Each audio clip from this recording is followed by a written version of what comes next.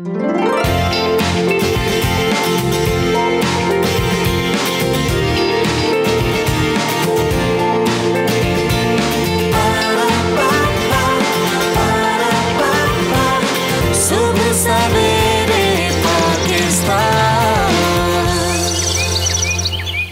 नाजीन, आप देख रहे हैं सुबह सवेरे पाकिस्तान। मैं हूँ आपके साथ आपकी मेज़बान रमशा कंवल अच्छी सेहत की अगर बात की जाए तो अल्लाह ताला का अतिया करदा बहुत बड़ा तोहफ़ा है और हम अगर अच्छी तोहफे को संभाल के रखें, अच्छी सेहत का ख्याल रखें तो अल्लाह ताला की तरफ़ से हम इस नेमत का भरपूर फ़ायदा उठा सकते हैं।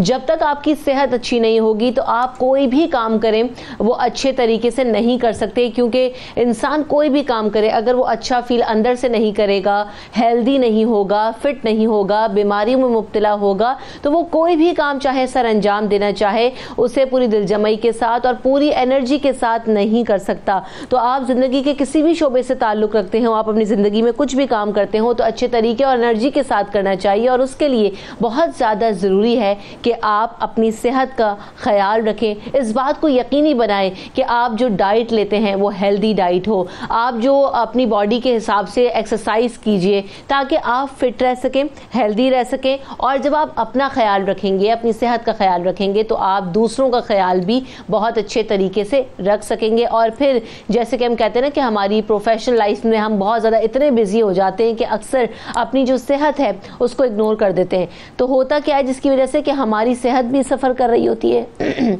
हमारी पर्सनल लाइफ भी सफ़र कर रही होती है और साथ साथ हम जो आ, काम कर रहे होते हैं वो भी सफ़र कर रहा होता है। तो हमें ज़्यादा ज़रूरी यही है कि अपनी सेहत को बेहतर बनाएँ और जितना हो सके ख्याल रखें ताकि हम अपने साथ साथ दूसरों का भी ख्याल रख सकें। तो होता क्या है कि जैसे रमज़ान मुबारक का आगाज़ होता है तो बड़ी मोटिवेशन होती है कि जनाब फास्टिंग कर रहे हैं, रोजा रख रहे हैं, वज़न कम होना तो शर्त है, लेकिन जब 10-15 रोज़े गुजर जाते हैं तो अंदाज़ा होता है कि जनाब वज़न कम नहीं हो रहा, वज़न बढ़ रहा है। डबल चिन आ जाती है, टमी बाहर आ जाती है, बजाय टकिन होने के, और हम मोटे होते रहते हैं। तो इसकी वजह क्या है? और फिर हमें अपना लाइफ देन अगेन कितना चेंज करना है? डाइट प्लान सहरी और इफ्तारी को किस हद तक बैलेंस रखना है, ताकि बजाय वेट गेन करने के आप वेट लूज करना शुरू करें, और इस रोज़े का हकीकी फ़ायदा या जो हकीकी रूह है, उससे फैजियाब हो सकें। तो हमारे साथ जिम ट्रेनर जुहेब आलम मौजूद हैं कराची स्टूडियो में। वेलकम जुहेब। और साथ साथ मेरे साथ डॉक्टर सारा फारूकी हैं, जो कि न्यूट्रिशनिस्ट हैं। आपको भी वेलकम करते हैं सारा।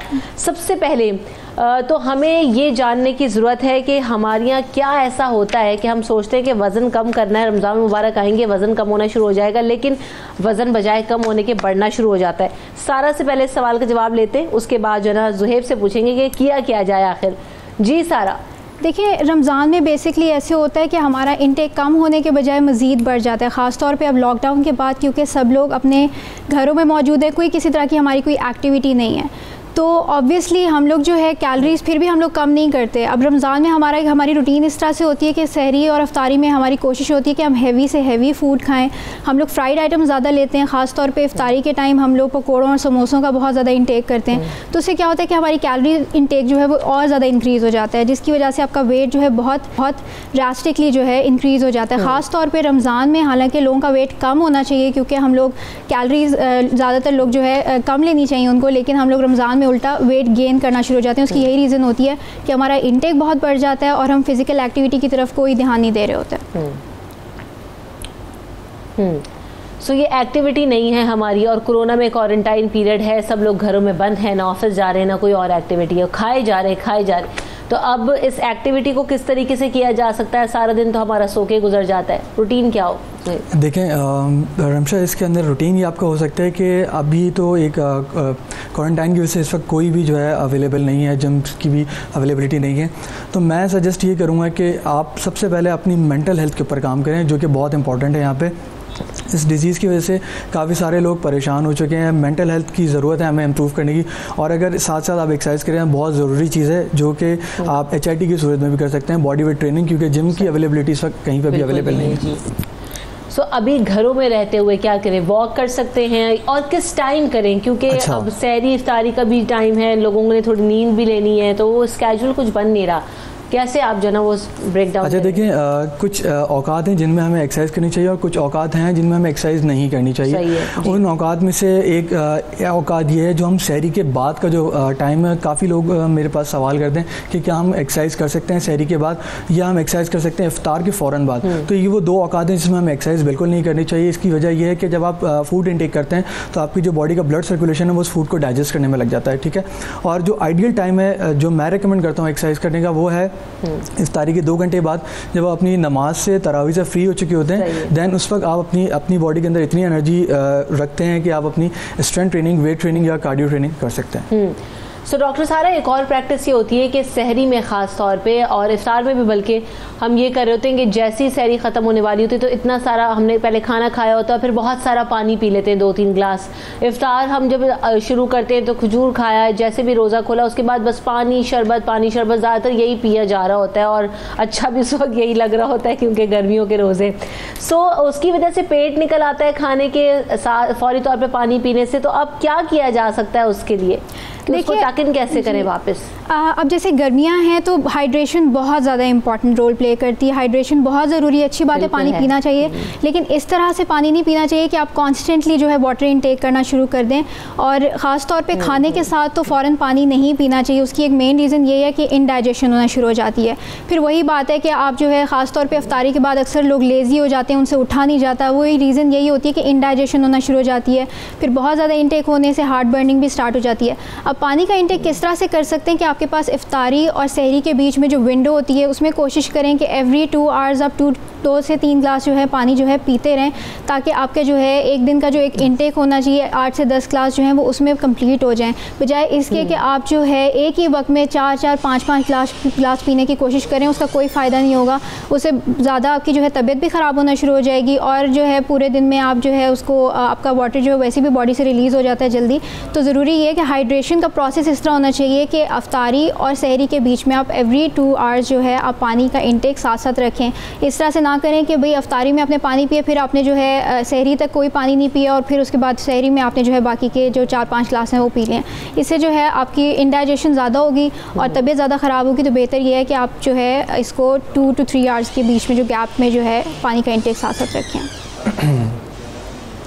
दुरुस्त। तो जहेब, हो क्या सकता है कि पानी जैसे भी सारा भी कह रही है कि हाइड्रेशन बहुत ज़्यादा ज़रूरी है और हाइड्रेट रखना भी है बॉडी को, गर्मियों के रोज़े और रोज़ा अगला भी रखना होता है तो उसकी तैयारी भी। तो सेकेंडली जो पेट निकल आता है, इसके लिए क्या कर सकते हैं उसको अंदर करने के लिए? कोई कोई एक्सरसाइज कर सकते हैं या अच्छा देखिए मैं सवाल का आंसर मैं आपको बड़ा इंटरेस्टिंग देता हूँ। हम्म। कभी आपने देखा है कि एक मोटा सा बंदा हो उसका जो है सिक्स पैक्स बने हुए हों? डेफिनेटली नहीं, नहीं है। तो स्पॉट रिडक्शन जो है फिटनेस के अंदर नहीं है किसी भी सूरत में। आप फैट अगर आप फैट लॉस करते हो तो आपकी इवेंचुअली पूरी बॉडी से फैट लॉस होता है। जहाँ पर आपके स्टोर फैट होते हैं वो सारे एक साथ जो है वो रिड्यूस हो रहे होते हैं। तो अगर आप ये बात करते हैं कि हम पेट कम कर सकते हैं या अगर आपकी पूरी बॉडी एक जैसी है तो ऐसा पॉसिबल नहीं है। कुछ लोग लेकिन ऐसे भी होते हैं कि बड़ी उनकी टोन बॉडी होती है लेकिन सिर्फ़ पेट बाहर होता है। अच्छा इसके ऊपर भी मैं आपको जवाब देता हूँ। वो ये होता है कि जो आपके स्टोर्ड फैट होते हैं वो जो आपका जो स्ट्रबन फैट होता है वो हम्म। बहुत देर में जाता है। जी बिल्कुल। जो फिटनेस के अंदर आप सिक्स पैक का एक जो एक लोगों के भी दिमाग में एक आइडिया होता है कि हमें सिक्स पैक चाहिए वो बिल्कुल एंड वाली बात होती है। इसकी मिसाल मैं आपको इस तरीके से देता हूँ कि आप एक माउंटेन के पास खड़े हुए आप उसकी पीक की बात करते हैं और आप बिल्कुल स्टेप पे खड़े हुए हो। तो वो जो पीक है वो सिक्स पैक है तो उसके लिए आपको बहुत हार्डवर्क की ज़रूरत होती है। उसके बाद जाके वो चीज़ आपको अचीव होती है। हम्म, तो कैसे कर सकते हैं? अभी अगर आपने अपना वज़न कम करना है पेट कम करना है ख़ास तौर पे तो? देखें पेट कम करना है तो ये एक टर्मिनोलॉजी जो है फिटनेस के उसमें नहीं यूज़ की जाती। आप इसको इस तरीके से यूज़ कर सकते हैं कि आपका फ़ैट लॉस जो होता है रमज़ान में बहुत अच्छी तरीके से होता है क्योंकि इसकी वजह यह है कि हम पूरे दिन कैलोरिक डेफिसिट पे चल रहे होते हैं हम खाते कम हैं। लेकिन जिस तरीके से डॉक्टर सना ने बात की इस वक्त कि हम खाने की बजाय अपना वज़न ज़्यादा बढ़ा लेते हैं वो इसकी वजह ये होता है कि हम ज़्यादातर तेल वाली चीज़ों का इस्तेमाल करते हैं प्रोसेस शुगर्स इस्तेमाल कर रहे होते हैं खाने के अंदर, जिसकी वजह से हमारा वज़न बढ़ रहा होता है।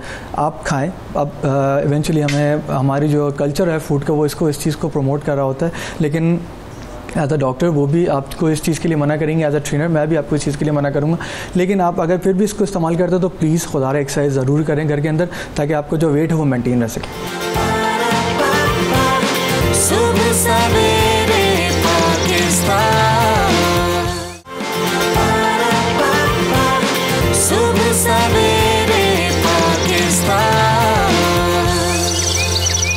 कॉलर है राबिया हमारे साथ। अस्सलाम वालेकुम।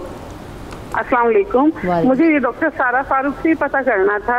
मेरे फादर हैं सेवेंटी फाइव प्लस हैं। पहले तो वो ठीक से कार्डिक पेशेंट है कार्डिक करवाते थे हम उन्हें जिम लेके जाकर हॉस्पिटल हम्म। से ही करवाते थे। बट अब ये लॉकडाउन की वजह से और ये सब की वजह से इनकी एक तो एक्सरसाइज रह गई। घर में ये थोड़ी बहुत कर रहे हैं बट इनके आजकल बहुत सारे इश्यूज़ हैं। एक इशू उसमें से ये है कि इनके इनकी डाइट का प्रॉब्लम है खाना हजम नहीं हो रहा और इनका पेट बहुत ज़्यादा निकल रहा है। हालाँकि इनकी डाइट का हम लोग बहुत ख्याल करते हैं और दूसरा ये कि इंश्योर लेते हैं मिल्क जो होता है तो वो मुझे किसी ने कहा कि वो आजकल मैं इनका छुड़वा दूँ क्योंकि इनकी जो है इनटेक इतना ज़्यादा हैवी हुआ हुआ है रमज़ान की वजह से। और दूसरा ये कि ये चल फिर नहीं रहे ज़्यादा मूवमेंट नहीं हो रही। तो मुझे सिर्फ़ इनसे ये पूछना था कि मुझे ऐसा करना चाहिए या नहीं करना चाहिए? सर प्लीज़ मुझे पता करवा सही है डॉक्टर सारा से आपके सवाल का जवाब लेंगे। एक और कॉलर है कासिम असलम वालेकुम। सलाम। जी सवाल कीजिए। जी, जी सवाल कीजिए। जी, मैं पूछना चाहता हूँ कि मेरा जो है वेट काफ़ी ज़्यादा है और पेट के बाहर निकला है। तो मैं रमज़ान में ऐसी कौन सी शहर और अफ्तार में जो है, मैं चीज़ें इस्तेमाल करूँगी जिससे जो है मेरा पेट भी कम हो और वेट भी लूज हो सही है। अच्छा सारे लोगों का फोकस जो है ये कॉलर्स का ये लग रहा है कि बस खाना है जो है ना उसमें कमी करने की है। फ़िज़िकल एक्टिविटी पे बात नहीं हो रही जो है तो मैं चाहूँगी कि लोगों को ये भी बताना ज़रूरी है कि हम फ़िज़िकल एक्टिविटी क्या कर सकते हैं। वो मुझे बार बार आपसे कह रही हूँ ना कि एक्सरसाइज बताएँ एक्टिविटी बताएँ तो लोगों को ये भी साथ साथ हमें आगाह करना है कि सिर्फ़ खाने पर हाथ रोकने से वज़न कम नहीं हो जाता फौरी तौर पर जी जोहेब। अच्छा देखें एक्सरसाइज की अगर हम बात करते हैं तो हम अगर एक्सरसाइज करते हैं रोज़े से पहले हम्म, हम्म। तो रोज़े से पहले जो हम एक्सरसाइज कर सकते हैं वो लो इम्पैक्ट कार्डियो कर सकते हैं उसमें हम वॉक कर सकते हैं। अगर आपके पास ट्रेडमिल अवेलेबल है घर के अंदर तो आप ट्रेडमिल यूज़ कर सकते हैं साइकिल यूज़ कर सकते हैं। अगर साइकिल नहीं है तो आप वैसे भी आजकल आप देख रहे हैं कि लोग साइकिलिंग भी कर रहे हैं आप साइकिलिंग भी कर सकते हैं but low impact high impact का इसलिए मना किया जाता है क्योंकि आप उस वक्त ना पानी पी सकते हैं ना कुछ खा सकते हैं। तो बेटर इसके जब हम एक्सरसाइज अगर हम जाते हैं इफ्तारी के बाद तो इफ्तारी के बाद हम हाई इंटेंसिटी वर्कआउट कर सकते हैं जिसके अंदर आप अपनी बॉडी वेट कंपाउंड मूवमेंट्स कर सकते हैं। उसके अंदर आप स्क्वाट्स कर सकते हैं आप बर्पीस कर सकते हैं आप बेयर वॉक्स कर सकते हैं। तो ये वो एक्सरसाइज हैं जिसके अंदर आपको इक्विपमेंट की ज़रूरत नहीं होती आप अपनी बॉडी को ही यूज़ कर सकते हैं इसके अंदर। और ये ज़्यादा से ज़्यादा कैलोरीज बर्न करने में आपको हेल्प आउट करता है। और ये तो आप अपने घर में अपने रूम exactly. में कहीं पे भी हॉल में छत पे कहीं पे भी कर आपको बहुत छोटी सी जगह चाहिए होगी इसको करने के लिए। और ये थर्टी टू फोर्टी मिनट्स के अंदर मैक्स आप अपने two fifty to five hundred calories burn कर सकते हो इजीली सही है। सो एक सवाल आया था पहले कॉलर आ गए उनको भी ले लेते हैं। असला तबसुम वालेकुम अस्सलाम। बाजी मैंने पूछना था डॉक्टर साहब से कि मैंने ना अपना बाईपास करवाया हुआ है तो मैं रोज़े रख रहा हूँ हर साल ना। हाँ जी। तो मैं मेरे लिए वो कोई मसला तो नहीं है कोई मेडिसिन का दवाई खाने का या कोई ऐसा? रोज़ा रखते हैं आप? हुआ हुआ है।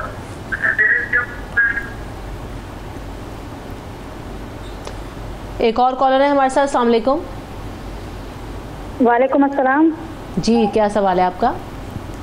मैडम मेरा सवाल ये है कि मैं ना रोज़ा मेरा बिल्कुल अल्हम्दुलिल्लाह बहुत अच्छी तरीके से जाता है लेकिन जब सैरी करने के बाद ना मैं इतनी तंग हो जाती हूँ जिसकी कोई हद नहीं। हम्म। यानी मेरा मैदे में इतनी तेजाबियत से कोई भारापन आ जाता है हम्म। कि वो एंड टाइम पे ज़ोर असर के टाइम बिल्कुल ठीक रहता है। सही है। चले अब बहुत सारे सवाल आ गए हैं उन सबको मर्ज करने की कोशिश करते हैं। सबसे पहले डॉक्टर सारा सवाल आया था कि सीने में जलन होती है और अभी सवाल आया मैदे में तेजाबियत खाना हजम नहीं होता। मल्टीपल सवालों को आप कैसे एड्रेस करेंगी? अच्छा अब इसमें ये बहुत ज़्यादा कॉमन है रमज़ान में इस तरह की कंडीशंस बहुत ज़्यादा होती हैं। तो ध्यान ये रखने की। ज़रूरत है कि आपका खाने का इंटेक क्या आप चीज़ें क्या क्या ले रहे हैं? सबसे पहले तो ज़रूरी है कि सहरी के टाइम ख़ास तौर पे इस तरह की चीज़ों का इंटेक ना करें जैसे कि आपने अगर कोई स्पाइसी सालन बनाया हुआ है या कोई स्पाइसेस आपने यूज़ किए हुए हैं बहुत ज़्यादा तो उसका इंटेक ना करें। ख़ास तौर पे सहरी और अफ्तारी के टाइम जितना ज़्यादा स्पाइसेस का यूज़ करेंगे उतना ज़्यादा हार्ड बर्निंग होगी। दूसरा पॉइंट ये है कि आपने खाना स्लोली खाना है भाग भाग के नहीं खाना। अक्सर लोग जो है अफ्तारी के टाइम या सहरी के टाइम बहुत तेज़ी से बहुत स्पीड से खाते हैं तो उस वजह से भी तेजाबियत बहुत ज़्यादा हो जाती है। तो खाने का इंटेक जो है थोड़ा आहिस्ता आहिस्ता स्लोली एक एक निवाले को जो है चबा चबा के आराम आराम से उसका जो है इनटेक करें। ख़ास और और पानी का इंटेक इस तरह से ना करें कि फ़ौरन खाने के बाद जो है अपने ऊपर जो है बहुत दो दो तीन तीन तीन ग्लास जो है पानी जो है आप पीना शुरू कर दें वो भी नहीं करना। शहरी के टाइम अगर आपने जो है तेजाबियत से बचना है तो कोशिश करें कि योगर्ट का अच्छा इंटेक रखें। योगर्ट सबसे बेस्ट रेमेडी है इस मामले में। अगर आप जो है वन कप योगर्ट या हाफ़ कप योगर्ट यूज़ कर लेते हैं उसके साथ आप फ्रूट्स ऐड करके यूज़ कर लें तो वो सबसे बेस्ट है। अफ्तारी के टाइम भी जो है आप योगर्ट का इंटेक कर सकते हैं। वेरी क्विकली ये भी बता दीजिएगा बाईपास हुआ हुआ है उनका वो रोज़े रख रहे हैं मेडिसिन स्किप होती है कोई प्रॉब्लम तो नहीं है? देखें ये तो अब इनके डॉक्टर ज़्यादा सही से बता सकते हैं कि इनकी किस तरह की कंडीशन है क्योंकि ऑब्वियसली मैंने इनकी रिपोर्ट्स नहीं देखी हैं तो मैं इस बारे में ज़्यादा नहीं कह सकती। अपने कार्डियक डॉक्टर से बिल्कुल कंसल्ट करें। एक और सवाल ये आया था आ, सारा के जो खाना हजम नहीं होता और उनकी 75 इयर्स एज है मोटापा बहुत ज़्यादा हो रहा है इंश्योर उनको कंटिन्यू करना चाहिए या नहीं? सॉरी उनको क्या चीज़ कंटिन्यू करनी चाहिए? वो जो दूध है उसका इस्तेमाल करें डाइट के साथ या छोड़ देना चाहिए। उनको सेवेंटी फाइव ईयर्स उनकी एज एक्सरसाइज वगैरह भी नहीं कर रहे। वो वो कर सकते हैं बिल्कुल वो यूज़ कर सकते हैं दूध का इंटेक भी वो कर सकते हैं और एक्सरसाइज भी अगर वो थोड़ी बहुत चहलकदमी कर रहे हैं तो इट्स ऑल राइट खाना हजम करने का तरीका ये है कि थोड़ा थोड़ा करके दिया जाए एकदम से बहुत ज़्यादा इंटेक ना किया जाए थोड़ा थोड़ा करके और उसको जो है नरम गज़ा जो है उनको ज़्यादा जहेब जाते जाते आपका जो है वो मैसेज इस रमज़ान में वज़न कम करने के लिए मोटिवेशन क्या हो और प्रैक्टिस क्या हो? देखें रमज़ान इस वक्त तो हमें सबसे ज़्यादा बेसब्री से इंतज़ार है जितने भी मेल फीमेल हैं जो जिम लवर्स हैं वो जिम खुलने का इंतज़ार कर रहे हैं। लेकिन अगर आप अभी इस वक्त जिम खुलने का इंतज़ार कर रहे हैं और एक्सरसाइज करना चाहते हैं तो प्लीज़ मेरा ये मानना है कि अपने घर पर एक्सरसाइज करें अपने बड़ों को भी इस चीज़ की तरगीब दें क्योंकि ये बहुत ज़रूरी है। ये जो टाइम है ये सर्वाइवल ऑफ़ फिटेस्ट है। अगर आप फिटेस्ट रहेंगे तो आप अपनी फैमिली को सपोर्ट कर सकते हैं। तो प्लीज़ अपनी फैमिली को भी इस चीज़ के लिए बोलें कि एक्सरसाइज करें ताकि आप भी तंदुरुस्त रहें और आपके घर वाले भी तंदुरुस्त बल्कि एक एक्टिविटी प्लान कर लें घर में के सब मिल के जो ना उस टाइम में बिल्कुल आप इस तरीके तो से हाँ जिस तरीके से आप नमाज़ बाहर नहीं पढ़ते तो आप घर में आप जिस तरीके से पूरी फैमिली के साथ नमाज़ पढ़ते हैं तो मेरा ये मानना है कि आप एक पूरी ग्रुप बना के घर में एक्सरसाइज हम्म। भी कर सकते हैं। बिल्कुल ऐसे ही तो आप ये एक्टिविटी कैसे प्लान करें और उस टाइम को कैसे यूटिलाइज करें ये आपकी चॉइस है। बहुत शुक्रिया सारा आपने हमें वक्त दिया। जुहेब आप हमारे साथ मौजूद है आप दोनों का बहुत शुक्रिया। ब्रेक की ब्रेक के बाद हाजिर होंगे।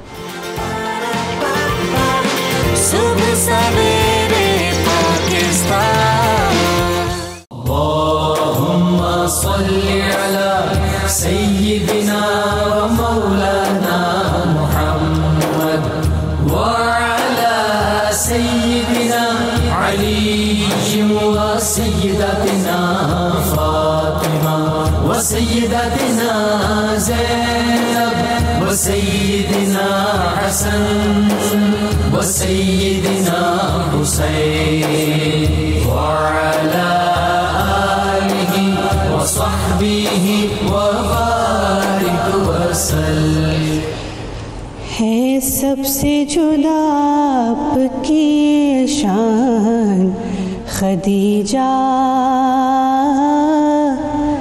है सबसे जुदा आपकी शान, खदीजा। है सबसे जुदा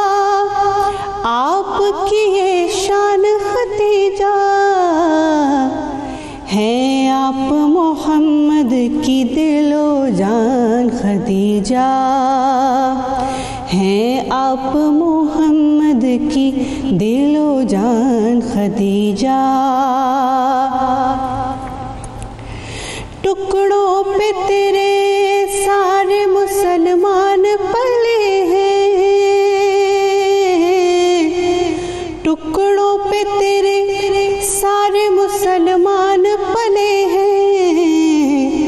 भूलेगा ना इस्लाम, ये एहसान खदीजा। भूलेगा ना इस्लाम, ये एहसान खदीजा। है सबसे जुदा आपकी शान खदीजा।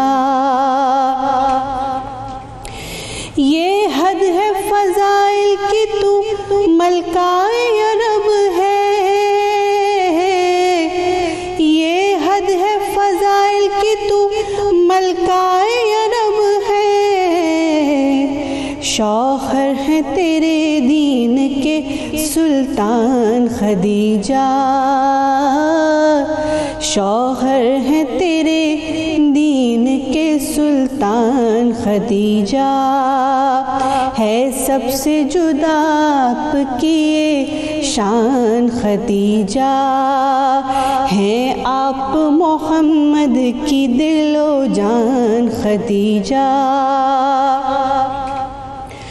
खुद उम्म अभी भी उन्हें कहती है मादर। खुद उम्म अभी भी जिन्हें कहती है मादर। क्यों तुम पे फजाइल ना हो कुर्बान खदीजा? क्यों तुम पे फजाइल ना हो कुर्बान खदीजा?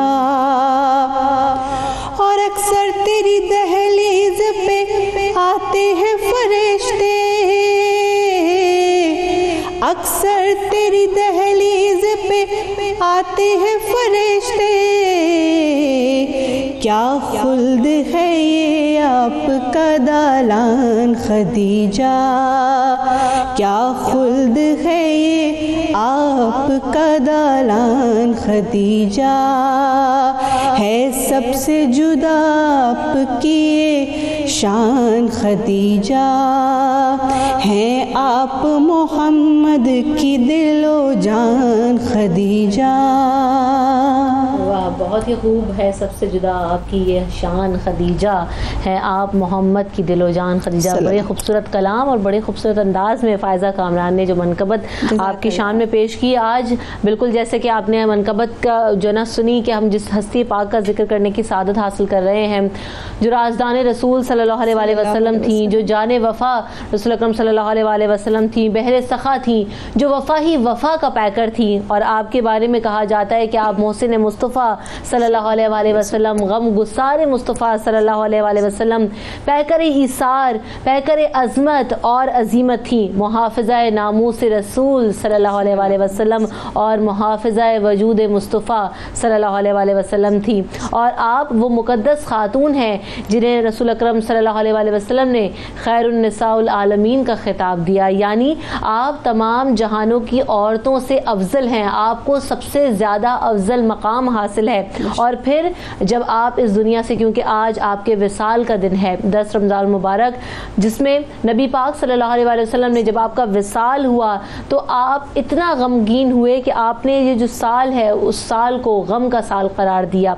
तो हम आज आपकी हस्ती ज़ात से सीखने की कोशिश करेंगे, जानने की कोशिश करेंगे कि आपके बारे में कि आपने किस तरह से इस्लाम की खिदमत की और उस वक्त में नबी करीम सल्लल्लाहु अलैहि वसल्लम का किस किस तरीके से साथ दिया जब रसूल अकरम सल्लल्लाहु अलैहि वसल्लम इस्लाम की खिदमत के लिए अपना काम कर रहे थे और फिर जो जहाँ जहाँ ज़रूरत थी तो हज़रत बीबी खदीजा ने किस तरह उनका साथ दिया। आज हम उस पर बात करेंगे। मेरे साथ आलमा नुसरत फातमा साहिबा मौजूद हैं, जो कि इस्लामिक स्कॉलर हैं, principal Haramain Islamic Academy for Women. आपको खुश आमदीद करते हैं शो में। तो आलमा साहबा, सबसे पहले जो आपकी शान है, जो अज़मत है, उसके हवाले से मैं चाहूँगी कि आप गुफ्तु का आगाज़ कीजिए।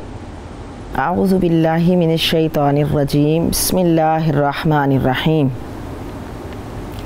अल्लाह ताला कुरान मजीद में इरशाद फरमाता है अन नबी औला बिलमिन बि अनफुसहम व अजवाजुहु उम्महातुहुम।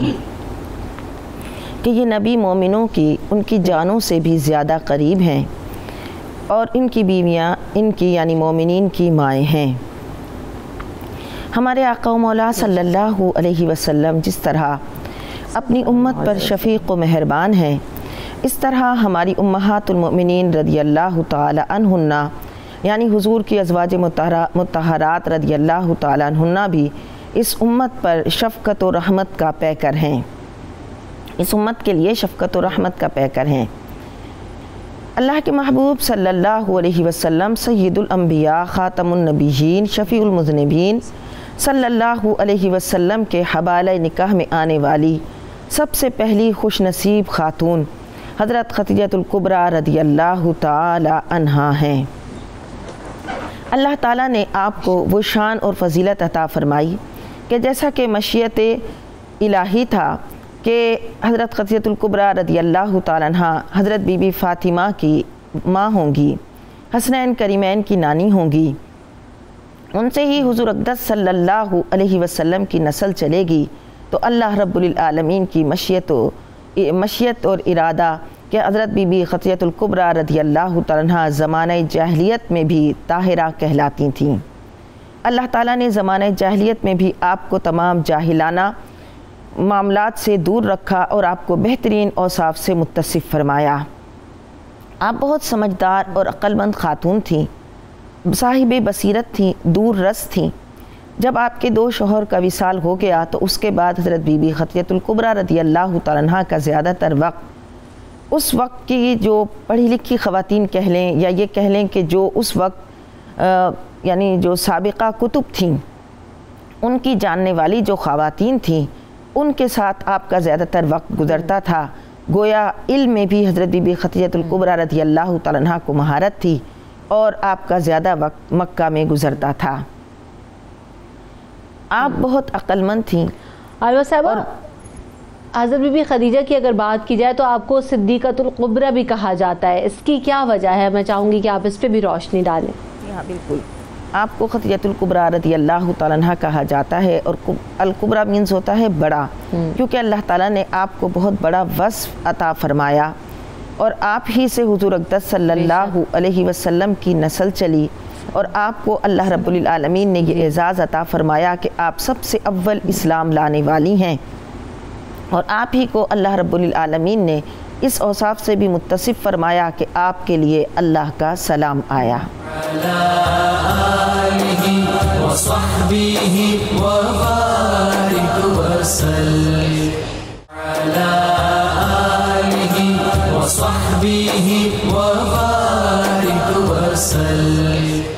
हज़रत बीबी ख़दीजा की अगर बात की जाए उनकी खिदमत गुजारी और फिर जो इस्लाम के लिए उनकी खदमात हैं, क़ुरबानियाँ हैं, आपकी वफा शुआरी जो थी तो उनसे हम क्या सीख सकते हैं आज के माशरे की औरत और हम सबको ये किस हद तक इम्प्लीमेंट करना चाहिए अपनी ज़िंदगी में? जी, माशाल्लाह आपका बहुत प्यारा सवाल है।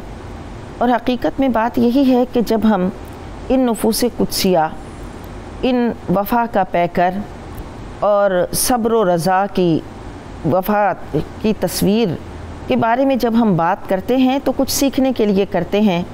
और आज का इतना मुबारक दिन है कि जो हज़रत बीबी ख़तीतुल्कुबरा रदी अल्लाह तहा का योम विसाल है। तो हकीकत में हमें ऐसे प्रोग्राम भी करने चाहिए और इस तरह उनकी सीरत व किरदार के बारे में भी जानना चाहिए ताकि हमारी ख़वातीन को इस वक्त उनसे कुछ रहनुमाई मिले। हज़रत बीबी ख़तीतुल्कुबरा रदी अल्लाह तहा की हम सबसे पहले ज़िंदगी का वो पहलू देखते हैं कि आपके लिए जब रिश्ता रिश्ते का इंतखब का मरहला आया। अल्लाह के नबी सल्लल्लाहु अलैहि वसल्लम की दयानत और सिद्ध को अमानत के सिद्ध को अमानत मक्का में मशहूर हो गई थी। हज़रत बीबी ख़तीतुल्कुबरा रती अल्लाह तहा चूँकि मक्के की बहुत अमीर ताजिर ख़ातून थी तो आपके लिए मक्का के रऊसा अपना रिश्ता भेजते थे।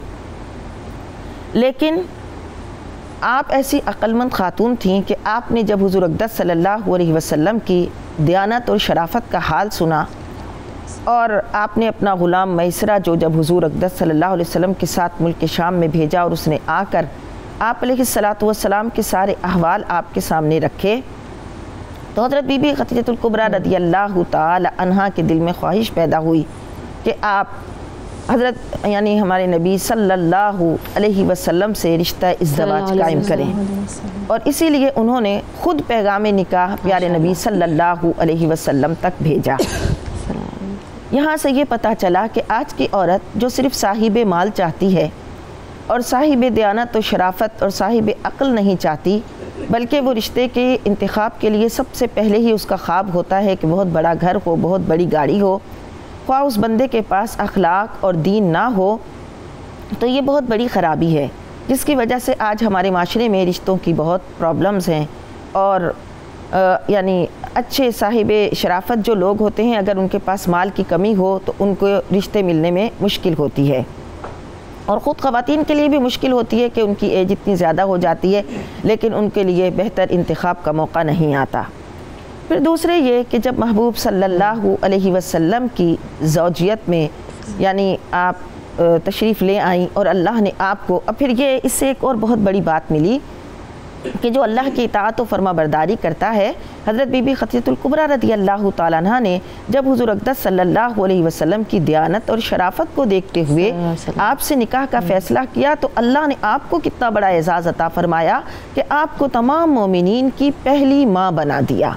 इतना बड़ा शर्फ अल्लाह ने आपको अता फ़रमाया। सुबह अल्लाह सुबह और फिर ये कि जब अल्लाह के महबूब सल्लल्लाहु अलैहि वसल्लम की जोजियत में आप आ गई तो आप जो मक्के की इतनी बड़ी ताजिर खातून थी कि जितने मक्का के दीगर तुजार के काफ़िले होते थे उन सब के बराबर आपका बहुत बड़ा तजारती काफ़िला होता था। और ये भी बताती चलूँ कि ये कैसे आया था हम्म। कि आपके वालिद बहुत बड़े ताजिर थे। तो और आपके शोहर भी ताजिर थे और ज़ाहिर है कि आपके वालिद की कोई औलाद नदीना नहीं थी यानी बेटा नहीं था। और हज़रत बीबी ख़तीतुल्कुबरा रदी अल्लाह तन्ना बड़ी ज़ीरक और समझदार अक्लमंद खातून थी। तो वो अपने बाप की तजारत को आपने संभाला और उसको फिर इस तरह बल्कि आप लेके चली कि प्रॉफिट पर आप अपना माल लोगों को देती थी और लोग आपका माल लेकर जाते थे और बेहतरीन आपकी तजारत में आपको हम्म। नफ़ा हुआ। तो उसके बाद महबूब सल्लल्लाहु अलैहि एक और चीज़ ये देखे ना अब आलम साहब एक तो हमें ये भी देखना है कि आज की औरत भी किस तरीके से जना वो जैसे अब उस दौर में वो तजारत किया करती थी और नबी करीम सल्लल्लाहु अलैहि वसल्लम की मुआवनत के साथ। दूसरी तरफ़ मैं चाहूँगी ये भी हम इस नुक्ते की तरफ़ भी रोशनी डालें कि जो आपकी मोहब्बत थी रसूल पाक सल्लल्लाहु अलैहि वसल्लम की हज़रत बीबी खदीजा रज़ी तह से मैं चाहूँगी कि आप उस पर भी गुफ्तु करें क्योंकि जब उनका विसाल हुआ वो जब इस दुनिया से रुख्सत हुई तो आपकी बहुत ज़्यादा जो है ना आप तकलीफ़ में थे और आप बहुत ज़्यादा गम में थे। जी बिल्कुल और ये भी कि अगर औरत फाइनेंशियल स्ट्रॉन्ग हो तो इस्लाम इसके मुनाफी नहीं है। इस्लाम इसको सपोर्ट करता है जब विरासत में औरत का हिस्सा मुकर किया गया है। दूसरे ये कि फिर हज़रत बीबी खतीतुल्कुबरा रदी अल्लाह तना इतनी बड़ी ताजिर खातून है लेकिन हजूर अकदस सल्लल्लाहु अलैहि वसल्लम की खिदमत को हम्म। अपनी सादत समझती हैं। यहाँ भी औरत के लिए ये सीखने की बात है कि औरत को चाहिए कि वो अपने शोहर की खिदमत करे अपने घर की देखभाल करे। बल्कि आप अपने घर की देखभाल और अपने घर के इंतज़ामी मामला में इतनी अच्छी खातून थी कि हजूर अकदस सल्लल्लाहु अलैहि वसल्लम आपकी तारीफ़ फरमाते थे कि खतीजा सबसे खतीजा अपने घर की निगहदाश्त में बहुत अच्छी हैं। तो ये बहुत बड़ी बात होती है कि तारीफ़ मिले। फिर ये कि जब अल्लाह के नबी सल्लल्लाहु अलैहि वसल्लम पर पहली वही का नज़ूल हुआ अल्लाह के महबूब सल्लल्लाहु अलैहि वसल्लम के दिल पर फितरी एक घबराहट जो तारी हुई और आप घर तशरीफ़ लाए और फरमाया ज़म मिलूनी ज़म मिलूनी मुझे कम्बल उड़ा दो कम्बल उड़ा दो। और फिर सारी कैफियत जब हज़रत बीबी ख़तीतुल्कुबरा रदी अल्लाह तह से बयान की तो बहुत बड़ा एक नुक्ता कि पता चला कि बीवी शोहर की नफ्सियात को समझने वाली होनी चाहिए। अगर बीवी शोहर की नफ्सियात को नहीं समझती तो उनके दरमियान कभी अंडरस्टैंडिंग पैदा नहीं होती। और ये कि शोहर के मुश्किल वक्त में शोहर के के लिए तसल्ली आमेज़ गुफ्तु करने वाली हो। अब हमारे यहाँ क्या होता है कि अभी शोहर तो किसी मामले से इतना परेशान नहीं होता लेकिन बीवी इतनी ज़्यादा परेशान हो जाती है और अपनी इतनी कमज़ोरी का इजहार करती है कि वो समझती है एक थोड़ी सी मुश्किल पर भी समझती है बहुत बड़ी क़्यामत आ गई।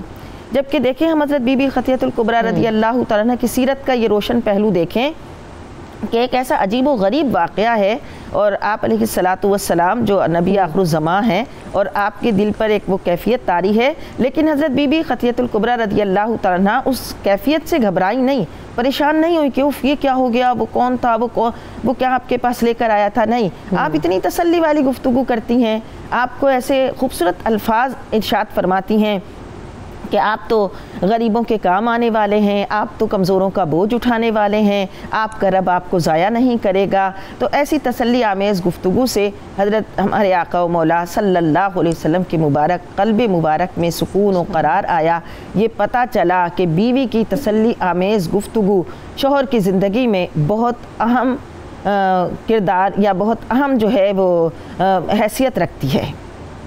इसलिए बीवियों को चाहिए कि कभी दुख तकलीफ़ परेशानी और मुसीबतों का वक्त हो तो बजाय इसके कि उस मुसीबत और तकलीफ़ को अपने अल्फाज और जुमलों से बढ़ाएँ तसल्ली और करार के अल्फाज और जुमले बोलें ताकि तबीयत में सुकून आए। खुद उनके अपने भी और उनके जो घर वाले हैं उनकी भी तबीयतों में सुकून आए। बिल्कुल। जब कुफार मक्का ने नबी करीम सल्लल्लाहु अलैहि वसल्लम का सोशल बॉयकॉट कर दिया उस वक्त में सैदा खजदातुल्कुबरा ने जिस तरह रसूल पाक सल्लल्लाहु अलैहि वसल्लम का साथ दिया आजकल के दौर में ख़वातीन को किस हद तक सीख मिलती है कि अगर आपका शोहर किसी मुश्किल में हो किसी परेशानी में हो तो आप उसकी एक तो दिलजोई करें समझें उसकी बात को और फिर दूसरी बात ये कि आप उससे ताने ना मारें उससे उसको परेशानी में मज़ीद उसकी इजाफ़ा ना करें। आलमा साहबा। जी बहुत प्यारा सवाल है आपका। और वाकई आज हम जिन शख्सियत के बारे में सुनने के लिए यहाँ सादत हासिल कर रहे हैं, जिनको सुनने की तो वाकई उनकी ज़िंदगी के जिस जिस रोशन पहलू को देखें तो वो हमें एक मीनारा नूर नज़र आता है। और हमारे अमल में जो एक बहुत कमी है, इसकी वजह ये भी है कि हम इन शख्सियात के बारे में जानने की कोशिश नहीं करते। हम इन शख्सियात के बारे में अब। ज़ाहिर है जब हम इन शख्सियात के अहवाल जानेंगे उनके हालात ज़िंदगी पढ़ेंगे उस पर गौर फ़िक्र करेंगे तो हमें अमल का भी जज्बा मिलेगा और हम्म। हमारे सामने इनका उसवा जो होगा एक रोशन मीनारा होगा हम तो इधर उधर हम्म। किसी और हो किसी और ही की ज़िंदगियों में झांकने की कोशिश करते हैं और ये नहीं समझते कि जहाँ से कामयाबी और फलाह के रास्ते मिलेंगे उन मुबारक हस्तियों को जाना जाए बहुत प्यारा आपका सवाल है कि वाकई हज़रत बीबी ख़तियतुल्कुबरा रदी अल्लाह तु की ज़िंदगी का वो रोशन पहलू कि आप मक्के की ताजिर ख़ातून हैं। मुतमवल मालदार ख़ातून हैं। और आप जब अल्लाह के नबी सल्लल्लाहु अलैहि वसल्लम की जोजियत में आती हैं सबसे पहले ईमान लाती हैं अपना माल इस्लाम की राह में क़ुरबान करती हैं और फिर भी इतनी तकालीफ़ और तंगी में गुजारा करती हैं कि जब शाब अबी तालिब में हुजूर अकदस सल्लल्लाहु अलैहि वसल्लम के पूरे ख़ानदान को कुरैशी मक्का ने एक मुकाता करके यानी वहाँ पर उनके लिए ज़िंदगी तंग कर दी थी। बज़ाहिर उन्होंने उनके लिए ज़िंदगी तंग कर दी थी कि यहाँ तक कि खाने पीने का सामान भी वहाँ नहीं था। तो हज़रत बीबी ख़तियतुल्कुबरा रदी अल्लाह तहा उन इंतहाई उसरत वाले और तंगी वाले हालात में भी अपने शोहर नामदार सरकार सल्लल्लाहु अलैहि वसल्लम का साथ दे रही थी। और इंतहाई सख्त तकलीफ़ और मुशक्क़त वाले वो दिन आप हँसी खुशी गुजार रही थी। बल्कि यहाँ तक के एक मरतबा आपके भांजे थे हुकैम इबन हज़ाम। उन्होंने जो है वो एक वो भेजा ऊँट जिसमें बहुत सारा गल्ला और अनाज था। तो हम्म। अबू जहल ने वो भी पहुँचने नहीं हम्म। दिया। यानी आपकी चूँकि असर रसूख बहुत था तो हम्म। आपके असर रसूख की वजह से लोग आपके लिए यानी माशाबी अभी तालिब में जो है वो गल्ला वगैरह भेजते थे। तो अबू जहल और जो कुफ़ार थे वो उस राह में भी रुकावट बनते थे। लेकिन आप देखिए उन सब्र रज़ा की पैकर वफ़ा हज़रत बीबी ख़तियतुल्कुबरा को कि ऐसी तंगी के हालात में भी जो उस वक्त जमी रहीं डटी रहीं और पूरा पूरा हँसी और खुशी के साथ अपने शोहर का साथ देती रहीं। ये हुजूर अकदस सल्लल्लाहु अलैहि वसल्लम से मोहब्बत का भी नमूना है और अपने शोहर के साथ तंगी हालात में गुजारा गुजारा करने का भी नमूना है। जबकि हमारी खातन तो आज की औरतों को कितनी बड़ी सीख मिलती है आज के दिन की मुनासबत से क्योंकि हम बीबी का ज़िक्र कर रहे हैं तो आज की औरतों को आप आज के दिन की मुनासबत से क्या पैगाम देना चाहेंगे? जी ये इसी इसी की रोशनी में एक तो ये पैगाम भी है कि अगर ज़रा भी मर्द पर कोई माली परेशानी आती है तो सबसे पहले तानो तशनी का उसका जो निशाना होता है वो अपना शोहर होता है। बजाय इसके कि वो उसमें कनात का मुजाहरा करे जो कुछ शोहर लाए उसी में मोहब्बत और उसने सलूक के साथ गुजारा करे। वो इंतहाई बेचैन हो जाती है बेकरार हो जाती है उसको। सिर्फ़ उसकी अगर चंद आसाइशें ख़त्म होती हैं तो लगता है उसकी ज़िंदगी की सारी रौनकें चली गई। और उस और देखें ना हमें इतनी बड़ी बड़ी हस्तियों जिनके पास सब कुछ मौजूद था उन्होंने जिस तरह ज़िंदगी गुजारी जिस कनात से जिस मोहब्बत से हमको अपनी ज़िंदगियों में बेहतरी लाने के लिए उनकी जो लाइफ स्टाइल है उसको फॉलो करने की ज़रूरत है। बहुत शुक्रिया आलमन नुसरत फातमा साहब मेरे साथ मौजूद थी जाते जाते फायजा कामरान भी हमारे साथ हैं तो आपसे भी कुछ कलाम सुनते जाएँगे। हमें अपनी दुआ में याद रखिएगा। नबी की पहली रिफाकत खतीजतुल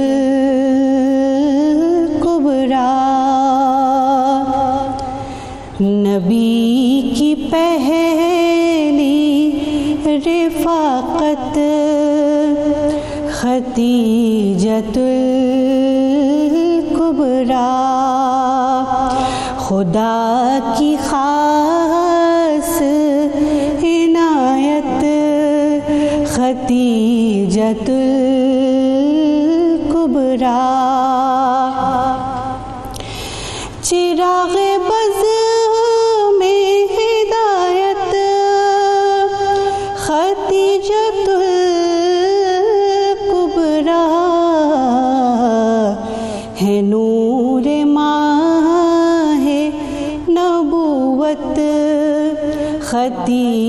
святой.